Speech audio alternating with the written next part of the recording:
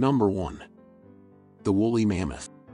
The woolly mammoth was a prehistoric, extinct species of mammoth that was well adapted to cold environments. It is often referred to as the woolly mammoth because of its long, shaggy coat of fur, which helped it survive in the frigid temperatures of the Ice Age. The woolly mammoth roamed the Earth during the Pleistocene epoch and coexisted with early humans. Unfortunately, like many other Ice Age megafauna, the woolly mammoth became extinct around 10,000 years ago, likely due to a combination of climate change and hunting by humans.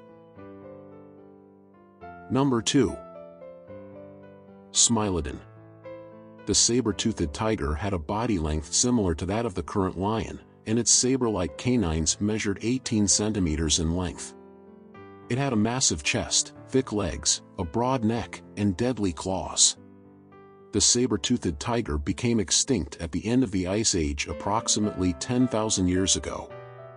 Despite being skilled hunters, as the years passed during the Ice Age, the prey dwindled, and the saber-toothed tigers could not find enough to hunt, leading to their extinction.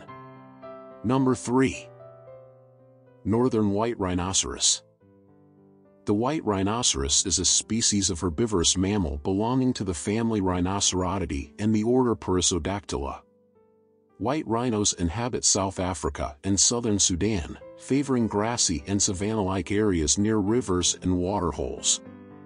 Since 2012, only three white rhinos remain, including two females, and following the death of the sole male, they are the last surviving members of their species.